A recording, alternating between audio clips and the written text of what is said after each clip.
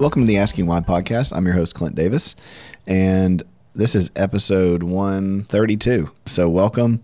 Glad to have you guys. I'm going to do something a little different today. We are going to talk about Hurricane Katrina. Next week is the 19th anniversary of Hurricane Katrina. And as some of you know who listened before, and some of you don't know, I was in the Army National Guard at the time. And so I got deployed down to go to Hurricane Katrina. And so this is a story about the state of Louisiana and about being in the National Guard. But it's also a story about you know different police officers, different individuals who got stuck down in, in New Orleans during Katrina and in the Superdome specifically.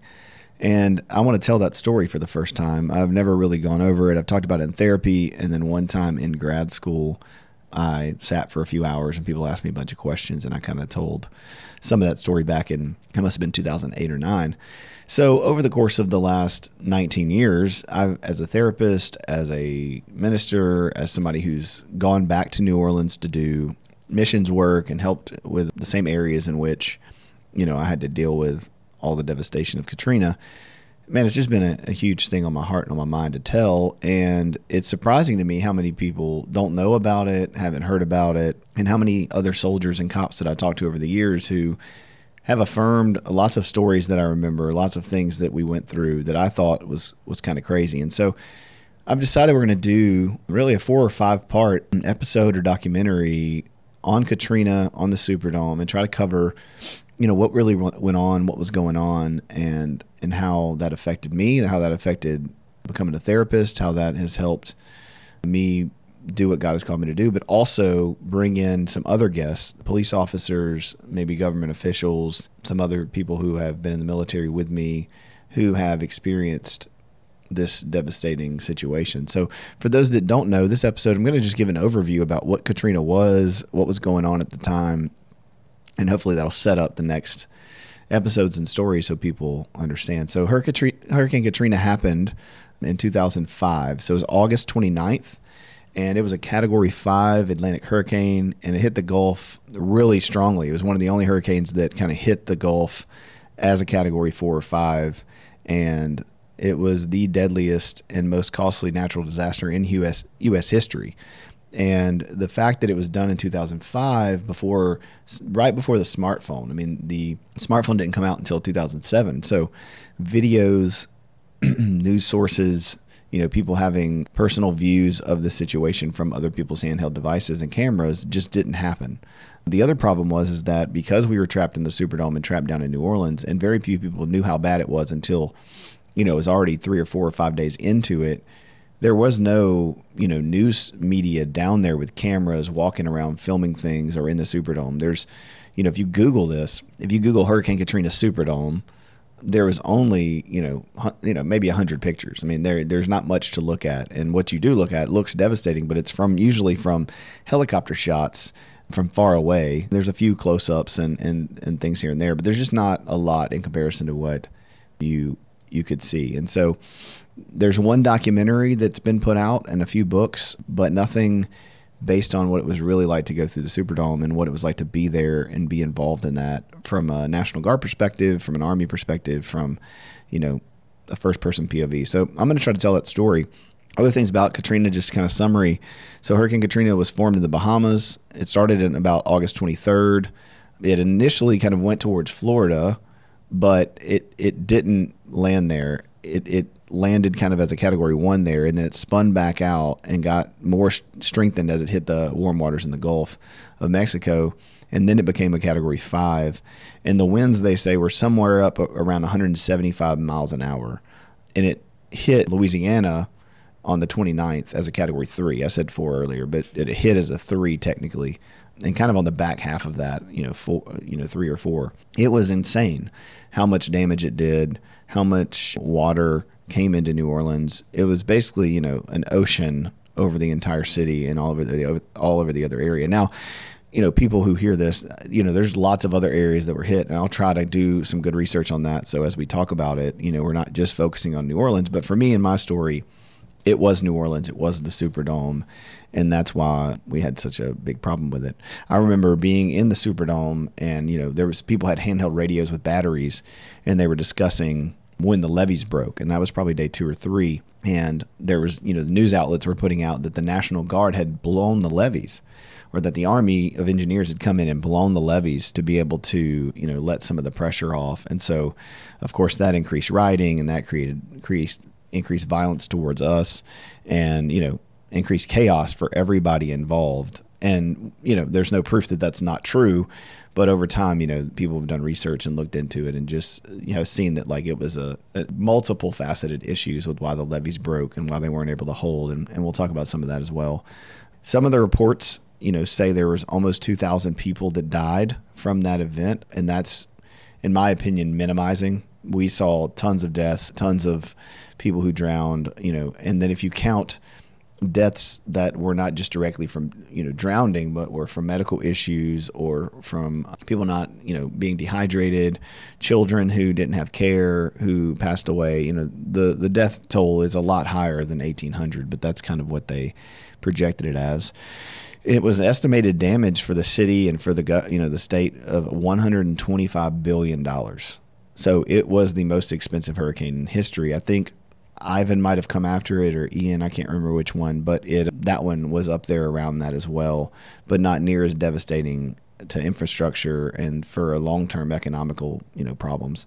And then the the other problem was the response and the recovery. You know, it was the most one of the most, you know, heavily criticized responses from federal, from state, from local governments. I mean, it was horrendous the amount of support and resources and planning that went into that.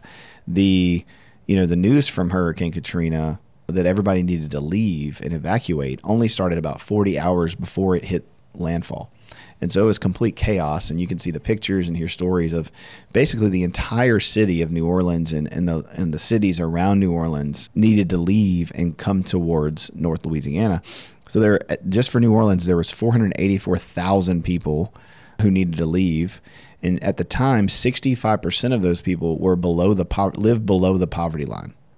So every you know everybody who could leave tried to leave. Some people of course stayed because they didn't think it was a big deal and they've experienced hurricanes their entire life. But there were 100,000 people left who couldn't afford to leave. And so 30,000 of those people ended up in the Superdome without food, without water, without electricity. And there were about 250 of us military members who were there and we got there the day before. So to go back, you know, I had I had been deployed to Afghanistan in 2003. So we got back at the end of 2003 after 9 months of being overseas as combat engineers. And so, you know, I come back and was still dealing with depression and anxiety and PTSD from that kind of stuff. Um, I was living in Alexandria at the time and you know, I had some friends from the National Guard who I'd come become close with over in Afghanistan, but most of them lived in Ruston, Louisiana. And so we I decided after having a mental health crisis and going to therapy, after months of getting therapy, I was like, I got to get out of Alexandria. I got to do something different. And so I moved to Ruston to go to Louisiana Tech to get my bachelor's in psychology and reconnected with some of my army buddies and, and some of the people I got deployed with Afghanistan. And so after, you know, I, I, I did 2004 at Tech, really just kind of muddled around trying to figure out what I wanted to do. And then 2005 comes around. We did a couple of hurricane activations, I think Abbeville and maybe something else in between. And then Hurricane Dennis happened in July of 2005. And so that was my my I'm really I was really close at the time to my grandparents. They were, you know, kind of my the only healthy adults in my life at the time, my parents being divorced and the people that I kind of looked up to the most and would live right next to and helped raise me and it was their 50th wedding anniversary. And I had missed, you know, something else for them because of being deployed. But their 50th wedding anniversary was coming up and all of my family was throwing them a huge party and I had to go down and be deployed for Dennis and so I missed their 50th wedding anniversary. And I go down for Dennis. This was only like three weeks. I think it was, let me look at the date, July 10th, 2005. So, you know, six weeks ahead of Katrina coming. So I'm at Louisiana Tech. I'm taking classes. You know, I'd gotten back from Afghanistan, done deployments, you know, trying to get my life together, not doing real great with all that. And, this this Dennis happens and it hits and it's it's you know not devastating at all. We we go down to New Orleans, we get activated at the time. So in the National Guard, you have what's called a ready reaction team. And at the time, we had pagers. So, right, this 2005. So we have flip phones and pagers. And what you have to do is you have to keep your pager on you at all times during the month that you are the special reaction team. And if you get a page, you show up and you help. Well, the month before that, we got deployed down to New Orleans for Hurricane Dennis. So I'm missing my, my grandparents, basically, you know, the closest people to me in my life who I love the most at the time. And I'm missing their 50th wedding anniversary. I'm the oldest grandchild. I'm the only grandson, so very close to them my whole life. And man, it was just really frustrating to go down and be deployed to something where we show up, you know, down in New Orleans, we show up at the Superdome, we show up to different places to try to help, and nobody really is there. There's probably, I don't know, 1,200 people that are milling about, homeless people, low income, you know, people who need help, and so we help them. And, and the hurricane, you know, basically hits and, and doesn't do much. We don't have to deal with it. We just are really hot and really tired. Well, we only stay three or four days, and then they wrap us back up and say, okay, there's nothing really to do here and so we went home. So we stayed at Jackson Barracks during that time, and Jackson Barracks is in you know a little bit above New Orleans, and we you know hung out. I remember sleeping in this like gym that they had. It was hot and annoying, and was again there was really nothing to do. We we showed up different places to try to unload some food and some water and help people, but nothing. You know, it didn't even really rain. And so we come back, and I'm just furious. You know, I'm frustrated that we I missed my grandparents' wedding anniversary for nothing, basically. And that was the frustrating time in history of being in the National Guard is that we got deployed for all kinds of things, and it's like, well, we did sign up for that, obviously, and we want to help, but sometimes you felt like you just got deployed to to go ten to nothing, and sometimes that's the job. And so, but as a 19 year old, 20 year old kid, you know, you're selfish and you're frustrated and annoyed. But at this point, I think I'm 20, 21, 22 so four or five weeks later, we I remember we we had went out the night before, and so I'm sleeping in on a I think it was a Friday or Saturday, and we get I get woken up by a knock on the door, and and my roommate Jeff at the time, Jeff Nelson, shout out to Jeff Nelson, um, he he's like, hey man, you know our pagers are going off, my phone's blowing up. Sergeant Knight is calling us, who at the time was our first sergeant. No, not our first sergeant. He was our platoon sergeant. He became first sergeant later, and they're asking us, hey, you know, there's this hurricane that's coming. So this is probably 29th, 28th, 27th, probably 28th, something like that. And they want us to, you know, come down to the unit. And I remember laying in bed and it was like, man, I do not want to go do that. That's super annoying and super frustrating. And so they're saying, hey, you know, you got to obviously you're get, you know, we're getting deployed to go down there. And I remember laying there and thinking, how do I get out of this? You know, to be completely honest, like I'm a 21 year old kid. I'm like, I don't want to waste my time. I have school. Like, I have to do these things. Like, and I remember praying and laying there and God just being like, you signed up for this. This is what's paying for college. Like, get up, quit being ridiculous. And I was like, okay, you got to do my job. Got to get up. So I remember jumping in the car and, you know, going down to Alexandria and getting to my unit and I remember it was pretty pretty late at night at that point, and or early in the morning. I can't really remember. And there's a bunch of people sitting in the back of a truck, drinking beer, talking. And I'm like, where is everybody? What is happening? I thought this was like going down. And they're like, yeah, nobody showed up. And so what turned out, you know, we have about 250 people in our unit. Only about 50 or 60 people showed up because they couldn't either get there, they had something they were doing, you know, they had some excuse, some wedding, they were like me and didn't want to show up because they didn't want to waste their time, whatever. And so we had to pack everything up, get all of our equipment, get all of our gear, and, you know, drive down to New Orleans because we're going to do this thing again where this hurricane's happening. Well, as that day is happening and as we're packing everything up, obviously Katrina is coming up in the Gulf, and we see how big and so how huge and how massive and how crazy it is. And you know, we realize, okay, well, this is different than the last one, and this is going to be you know a major problem. And the news outlets were saying the same thing. They were, you know, this is this is crazy. So I remember. You know, packing up and getting everything on the convoy to go down to New Orleans and just being like, okay, here we go. This is wild. And I'll never forget driving down there, you know, in, in our convoy the whole southbound lane is there's zero cars. And so the entire way down there from Alexandria at Camp Beauregard all the way down to New Orleans. So, you know, I don't remember how many miles that is, but there's nothing but cars coming the other way. And it was just there's pictures, and I'll post some of those in the video and on YouTube. But it it was just insane to see the the hundreds of thousands of people trying to come up from South Louisiana, and so you know that began the the course of you know changed my life, changed the history of I think you know American history when it comes to devastation, and we got down there to Jackson Barracks and I remember we, we stationed at Jackson Barracks so that we could go over to the Superdome the next, the, you know, in the next couple hours. And I remember it was there was a TV playing and there was a news kind of weatherman and he was saying, you know, hey, he was showing a map and he, he literally said on the television, "We're not joking. You've got to get out of here. Everybody has to evacuate. Mandated evacuation. Get out because if you're here," and he was pointing to Jackson Barracks or below, you're going to die. Like if you don't get out, you're going to die. And I remember we were sitting in Jackson Barracks watching that and then planning on driving further south to the Superdome. And we were just like, well, that's great news. You know that that that's what's going to happen to us if we're here. And so, you know, it was it was wild. And so, anyway, that's kind of the beginning of the story. That's what I wanted to to talk to you guys about and kind of prep you for. And so, we get there, we get to the Superdome, and I want to tell the story from that point moving forward. What it was like to get down there, and load these people into the Superdome. Katrina hits, its devastation, what it did to the city.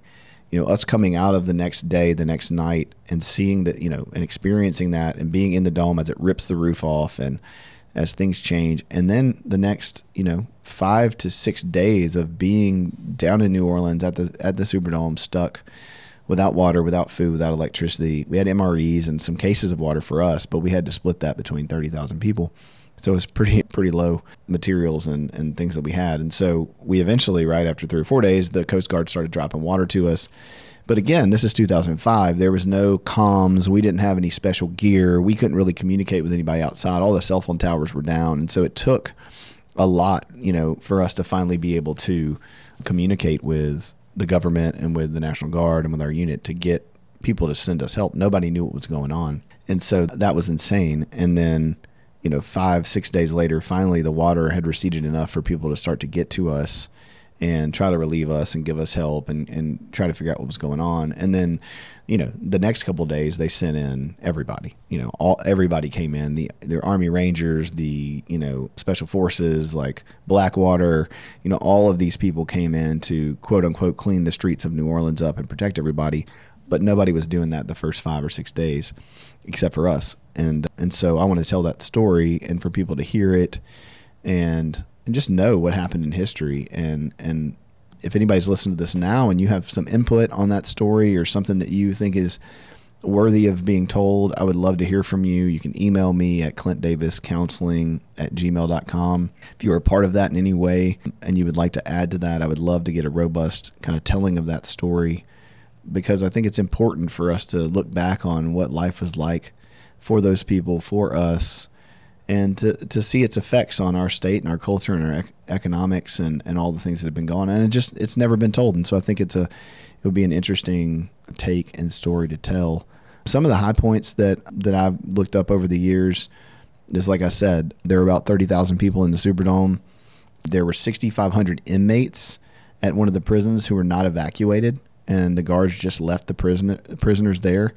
Um, I can remember seeing them wave out the window as we were driving by, picking people up and bringing them back to the Superdome, which is a whole nother story. You know, there was tons of shooting and violence and death and and rapes and child child abduction and you know anything that you can imagine was going on in the Superdome while we were there. And we didn't have weapons for the first, I think, 48 hours or more. Uh, we had no, you know, none of our no way of protecting ourselves because at the at that point it was a humanitarian mission. And then after things got chaotic, we didn't have weapons in the beginning. And, and at one point, where they switched it over to martial law, and we were able to get our weapons. And I remember running up to the seventh floor of the Superdome and, and trying to get those weapons to get out to be able to stop what was going on, which I'll tell that story later. But it was just pure chaos. And so it's something that I don't think people know what really happened and I think people need to know. And so that's going to be the story. I hope you guys will tune in. I hope to do it over the course of the next year leading up to the 20th anniversary. So I'll try to put out four or five, six episodes just documenting and talking through what people went through, how it affected them, And my hope is is that someone would pick it up and tell that story on a on a massive scale. But the bigger picture is is for people to find hope in suffering. You know, I I recovered from those things, and, and those things led me to becoming a counselor and a therapist and a minister. And you know, I, I, I would have never thought I'd go back to New Orleans. I, I would have never thought that I would go back to the Superdome. And after several years of therapy, and you know, almost a decade later, I went back for my first Saints game, and I remember, you know, almost having a panic attack trying to get in there. And then I went back the next year, and the next year with my buddy Aaron. And by the third time or fourth time I was there, I didn't realize that you know was good until halfway through the game. I realized I hadn't freaked out or had any kind of symptoms. And then eventually went down and did mission trips and helped serve different churches in New Orleans and to give back and to really help those people. And and so it's it's cool to see that God can use the worst circumstances of your life and it can shape you for better things and he can use those things for your good and for the good of others and for his kingdom and I just want people to see and hear that story of how good God is and what He can do in the midst of total chaos and total disaster and total failure on human part. You know that that we need God and He is good and then He comes through. So I hope you'll stick with me with that. I hope this was helpful, kind of summary and just introductory into Hurricane Katrina and what we're going to talk about. Thank you for listening. If you have questions, please email me. If you have something specifically you would like to hear in it or something that per- personal that comes up for you that would be helpful, I'd love to put this together in a way that that you know serves everybody. Thank you for listening, and God bless and have a good week.